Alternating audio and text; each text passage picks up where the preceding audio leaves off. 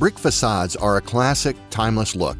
However, as building codes push the envelope on requirements for insulating buildings to save energy, many builders are opting to install thin brick over a wall that includes foam insulation. In this video, we will show you the basics of this type of installation. Our video will show all sections of the wall assembly with emphasis on installation of the facade. As you can see, the wall includes steel studs, rigid foam board insulation, exterior rated sheathing, builder felt, metal lath, a fortified mortar scratch coat, liquid waterproof membrane, exterior grade mortar, thin brick, and grout.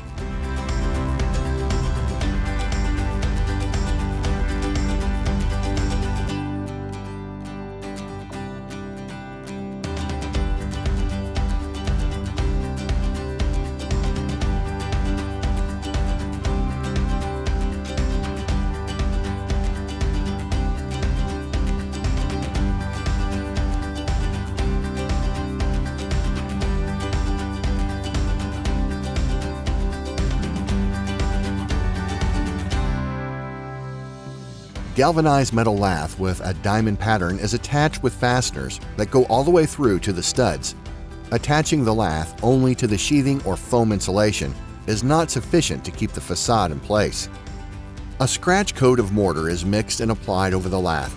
It should completely embed the lath and make the wall flat and smooth, ready for waterproofing. Let the scratch coat cure for the amount of time recommended by the mortar manufacturer.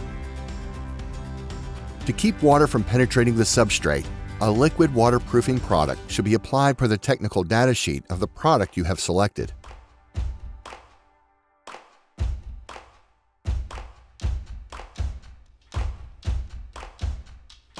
Once the waterproofing membrane is fully cured, it's time to begin installing the thin brick.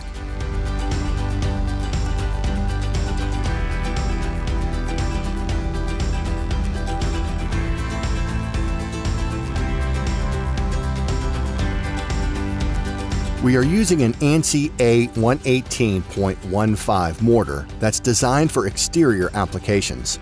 Many trowels can apply enough mortar for this step, but we are showing a 3 8 square notch trowel.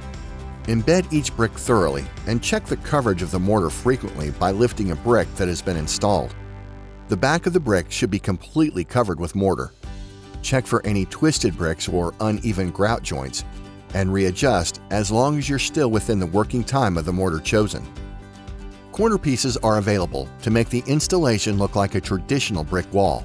These bricks should be back buttered with mortar to ensure full contact.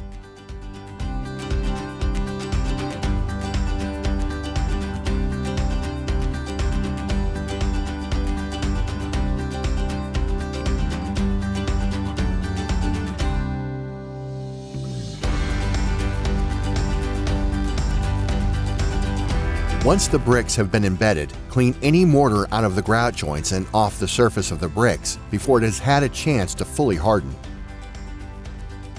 There are a variety of methods for applying grout.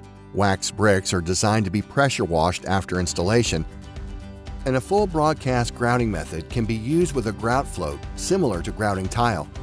This method can also be used for smooth bricks or if a wax grout release product is used on the bricks.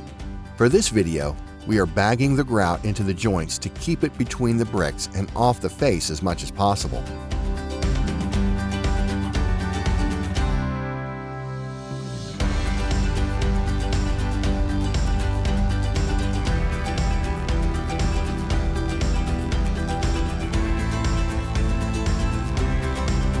Once the grout is cured to the point where it's dry to the touch, it can be tooled into the final shape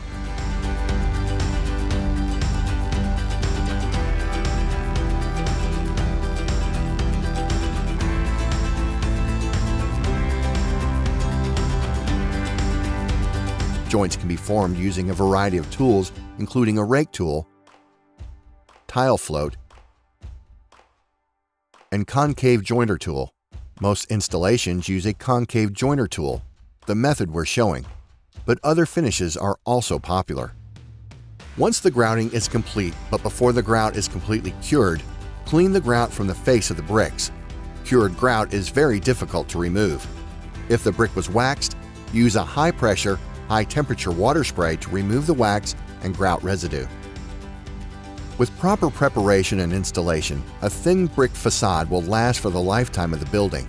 While the installation is different than with full brick, it is very similar to installing other hard surface materials such as tile and stone.